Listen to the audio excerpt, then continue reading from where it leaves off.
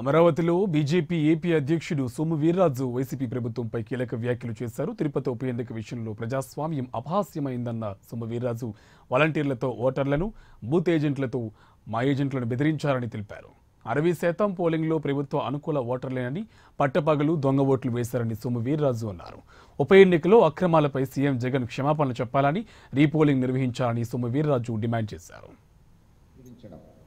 Number one voluntary వ్యవస్థతో ఓటర్లను బెదిరించడం.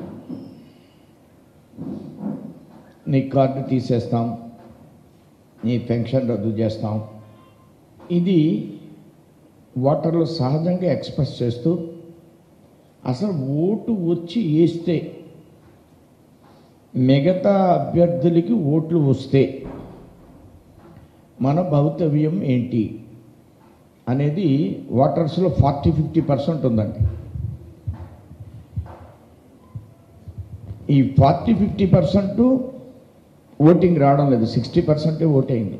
అంటే కారణం ఓటు వచ్చి వేస్తే ఇతర వాళ్ళు విజయం సాధిస్తే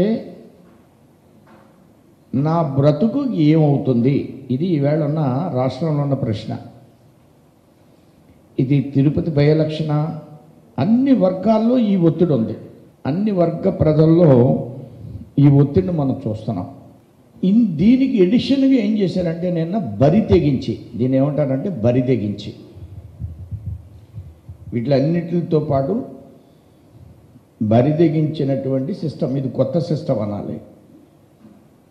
దొంగతనం రాత్రులు చేస్తారు ఎవరన్నా. ఈ పట్టపగలు దొంగతనాలు.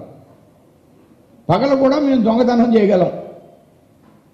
కొత్తగా మనకి వైసీపీ వాడు చూపించింది పగలు దొంగతనం చేస్తాం.